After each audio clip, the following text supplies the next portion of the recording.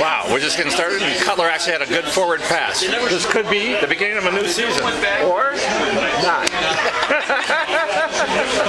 Look at that guy go. Okay, the Bears scored. Wow. We're starting the season. The Bears scored on their first drive. I hope that's a good sign. front of the chef, we're making pulled pork.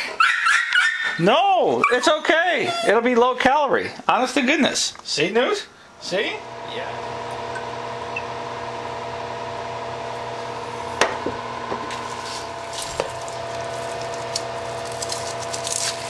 Trimmed off a lot of the fat using this brand new Prodex boning knife. God, is it sharp. And uh, we're just going to brown around the edges. Once it's browned, uh, add a little bit of water and a little bit of uh, barbecue sauce and let it simmer with some onion and garlic. Garlic, onion.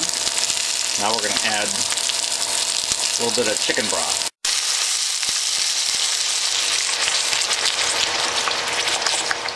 Now some barbecue sauce.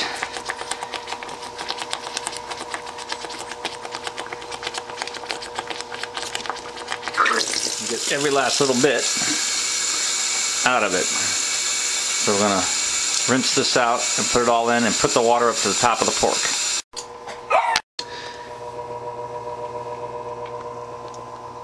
Turn up to high, get to a boil, then turn down to a real low simmer. Good morning. It's about 10 hours later. We're ready for the NFC playoffs my Chicago Bears hopefully will beat the Packers. Everyone says no, but I think different. We have our uh, crock pot. We switched to the crock pot because that goes overnight for 10 hours.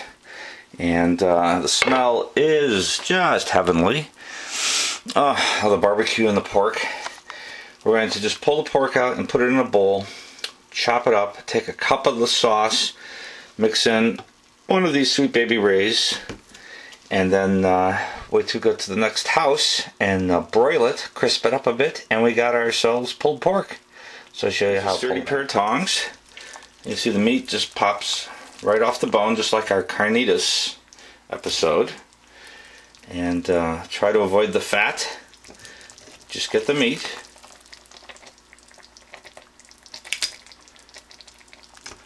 The smell is intoxicating. See, all the bones stay in there, the onions and garlic stay in there. Uh, it's really simple. So just take your pork, put it in the bowl, and then we're going to uh, take a fork and shred it up. Just use a fork and uh, pull it. And uh, the stringier the better. Let's see how it comes apart. And that's what you're going for. So make the whole thing like that. And then we take one cup of the liquid and put it in the bowl.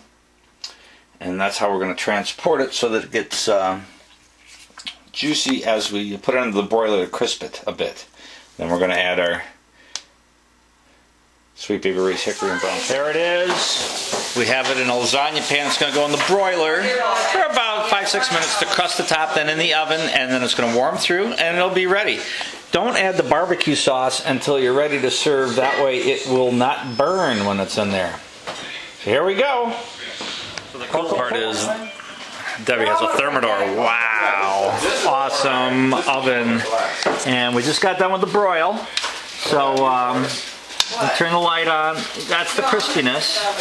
That's really sweet on top. And now we're going to bake it at 200 just for a little bit to warm it through. And then put the barbecue sauce on.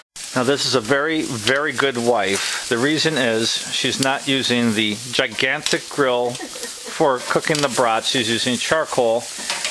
And we'll learn all about that later. Yum. Let's come out of the oven. You see nice crusties here. They taste delicious. The rest is uh, mm, juicy. Marie's going to put the Sweet Baby Ray's all over.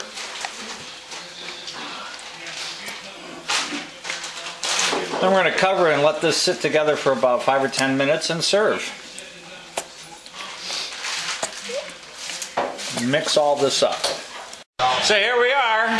It's the playoffs. No one said we'd be here. I'm just right. Someone's just very wrong. And here we go. Oops, the Bears stopped them before the 20.